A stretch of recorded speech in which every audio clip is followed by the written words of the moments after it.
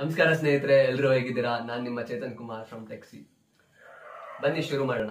ಇವತ್ತಿನ ಟಾಪಿಕ್ ಏನಪ್ಪಾ ಅಂದ್ರೆ ಆಂಡ್ರಾಯ್ಡ್ ಕಸ್ಟಮೈಸೇಷನ್ ಅಥವಾ more about custom ROMs so last ವಿಡಿಯೋದಲ್ಲಿ ನಂಗೆ ಎಲ್ಲ ಟಾಪಿಕ್ನು ಕವರ್ ಮಾಡಕ್ ಆಗಿರಲಿಲ್ಲ ಕಸ್ಟಮ್ ರಾಮ್ ಬಗ್ಗೆ. ಸೊ ಇವತ್ತೊಂದು ಡೆಡಿಕೇಟೆಡ್ ವಿಡಿಯೋ ಮಾಡೋಣ ಅಂತ ಮಾಡ್ತಾ ಇದ್ದೀನಿ. ತುಂಬಾ ಜನ ಕಮೆಂಟ್ ಮಾಡಿ ಕೇಳಿದ್ರಿ. ಖುಷಿ ಆಯ್ತು. ಕಸ್ಟಮ್ ರಾಮ್ ಅಂದ್ರೆ ಏನು? ಅಲ್ಲಿ ಸಿಂಪಲ್ ನಿಮ್ ಫೋನ್ ಅಲ್ಲಿರೋ ಆಪರೇಟಿಂಗ್ ಸಿಸ್ಟಮ್ನ ಒಂದು ಮಾಡಿಫೈಡ್ ವರ್ಷನ್ ಅಂತ ಹೇಳ್ಬೋದು. ಹಿಂಗೆ ಅದರಲ್ಲಿ ಕಂಪ್ಲೀಟ್ ಆಕ್ಸೆಸ್ ಇರುತ್ತೆ based upon which ROM you are using so each and every control in your system ನೀವು ಕಂಟ್ರೋಲ್ ಮಾಡ್ಬೋದು. ಆ್ಯಂಡ್ ಮೋರ್ ಇವನ್ ನೀವು ಯಾವುದು ಆಂಡ್ರಾಯ್ಡ್ ಅಪ್ಡೇಟಿಗೆ ವೇಟ್ ಮಾಡಬೇಕು ಅಂತ ಇಲ್ಲ. ಸೊ ಲೇಟೆಸ್ಟ್ ಅಪ್ಡೇಟ್ ಯಾವುದಿದೆ, ಅದನ್ನು ಡೌನ್ಲೋಡ್ ಮಾಡಿಬಿಟ್ಟು ಇನ್ಸ್ಟಾಲ್ ಮಾಡಿ ಟ್ರೈ ಮಾಡ್ಬೋದು. ಮೇನ್ ಆಗಿ ಏನಪ್ಪಾ ಅಂತ ಹೇಳಿದ್ರೆ ರ್ಯಾಮ್ ಮ್ಯಾನೇಜ್ಮೆಂಟ್ ಮತ್ತೆ ಬ್ಯಾಟ್ರಿ ಹೆಲ್ತ್ ತುಂಬಾ ಚೆನ್ನಾಗಿ ಬರುತ್ತೆ ಕಸ್ಟಮ್ ರಾಮ್ಸ್ ಅಲ್ಲಿ. ಅದನ್ನ ಚೆನ್ನಾಗಿ ಆಪ್ಟಿಮೈಸ್ ಮಾಡಿರ್ತಾರೆ. ಮಲ್ಟಿ ಟಾಸ್ಕಿಂಗ್ ಎಲ್ಲ ಚೆನ್ನಾಗಾಗುತ್ತೆ. ಕಂಪೇರ್ ಟು ನೀವು ಸ್ಟಾಕ್ ಆಪರೇಟಿಂಗ್ ಸಿಸ್ಟಮ್ ಏನ್ ಯೂಸ್ ಮಾಡ್ತಿರ್ತೀರೋ, ಅದಕ್ಕಿಂತ ಸ್ವಲ್ಪ ಚೆನ್ನಾಗಿ ಆಪ್ಟಿಮೈಸ್ ಮಾಡಿರ್ತಾರೆ ಡೆವಲಪರ್ಸ್ ಎಂಟೈರ್ಲಿ ಹೇಳೋದಾದ್ರೆ ನಿಮ್ ಫೋನಿನ ಯೂಸರ್ ಎಕ್ಸ್ಪೀರಿಯನ್ಸ್ನ ನೆಕ್ಸ್ಟ್ ಲೆವೆಲ್ ತಗೊಂಡು ಹೋಗುತ್ತೆ ಈ ಕಸ್ಟಮ್ ರಾಮ್ಸ್ ಇವಾಗ ಇದನ್ನ ಹೇಗ್ ಮಾಡೋದು ಅಂತ ತಿಳಿಸ್ಕೊಡ್ತೀನಿ. ಮೊದಲನೇದಾಗಿ ನಿಮ್ಮ ಹತ್ರ ಒಂದು ಆಂಡ್ರಾಯ್ಡ್ ಫೋನ್ ಇರಬೇಕು ಅಂಡ್ ಅದ್ರ ಬೂಟ್ ಲೋಡರ್ ಅನ್ಲಾಕ್ ಆಗಿರ್ಬೇಕು. ನಿಮ್ ಫೋನ್ ಟರ್ನ್ ಆನ್ ಆದ ಕೂಡಲೇ ಫಸ್ಟ್ ಲೋಡ್ ಆಗುವಂತ ತಿಂಗೆ ಬೂಟ್ ಲೋಡರ್ ಅದೇನ್ ಮಾಡುತ್ತೆ ಅಂದ್ರೆ ನಿಮ್ ಫೋನ್ ಅಲ್ಲಿರೋ ಆಪರೇಟಿಂಗ್ ಸಿಸ್ಟಮ್ ಸರಿಯಾಗಿ ಕೆಲಸ ಮಾಡ್ತಿದ್ಯಾ ಇಲ್ವಾ ಅಂತ ಚೆಕ್ ಮಾಡುತ್ತೆ. ಅಂಡ್ ಅದು ಅನ್ಲಾಕ್ ಆಗಿರ್ಬೇಕು. ನೀವು ಕಸ್ಟಮ್ ರಾಮ್ ಇನ್ಸ್ಟಾಲ್ ಮಾಡಬೇಕು ಅಂತ ಹೇಳಿದ್ರೆ.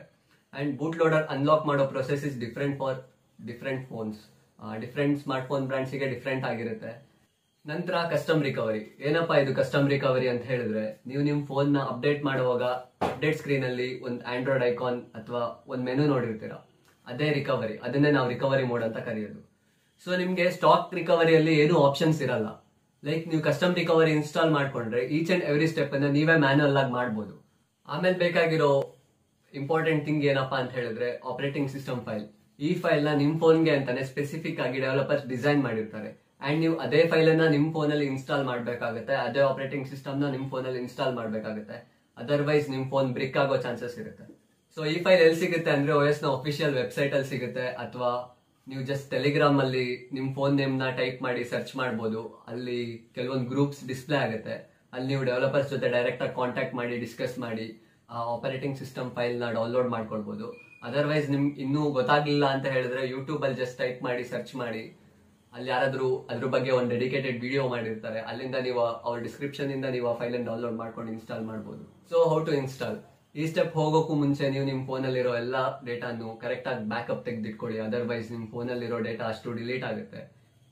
ಅಗೇನ್ ಇನ್ಸ್ಟಾಲ್ ಮಾಡೋ ಪ್ರೊಸೆಸ್ ಅಥವಾ ಮೆಥಡ್ ಕೂಡ ಡಿಫ್ರೆಂಟ್ ಆಗಿರುತ್ತೆ ಫಾರ್ ಡಿಫ್ರೆಂಟ್ ಡಿವೈಸಸ್ ನೀವು ಇದನ್ನ ಬೇಕಿದ್ರೆ ಯೂಟ್ಯೂಬ್ ಅಲ್ಲಿ ಸರ್ಚ್ ಮಾಡಬಹುದು how to install custom ROM on your device ಅಂತ ಹೇಳ್ಬಿಟ್ಟು. ಯಾಕಪ್ಪ ಇದನ್ನೆಲ್ಲ ಮಾಡಬೇಕು ಅಂತ ನೀವು ಕೇಳಿದ್ರೆ ಆಸ್ ಎ ಟೆಕ್ ಎಂಥೂಸಿಯಸ್ ನಂಗೆ ಇದನ್ನೆಲ್ಲ ಮಾಡಕ್ ಇಷ್ಟ ಆಗುತ್ತೆ. ಆಂಡ್ರಾಯ್ಡ್ ಅಲ್ಲಿ ನಾರ್ಮಲ್ ಫಂಕ್ಷನ್ಸ್ ಬಿಟ್ಟು ಇದನ್ನೆಲ್ಲ ಮಾಡ್ಬೋದು ಅಂತ ತಿಳಿಸ್ಕೊಡೋ ಒಂದು ಪ್ರಯತ್ನ ಅಷ್ಟೇ. ಸೊ ನಿಮ್ಗೆ ವಿಡಿಯೋ ಇಷ್ಟ ಆಗಿದೆ ಅಂತ ಅನ್ಕೊಳ್ತೀನಿ. ಲೈಕ್ ಮಾಡಿ ಶೇರ್ ಮಾಡಿ, ನನ್ನ ಟೆಕ್ಸಿ ಚಾನಲ್ಗೆ ಸಬ್ಸ್ಕ್ರೈಬ್ ಮಾಡಿ.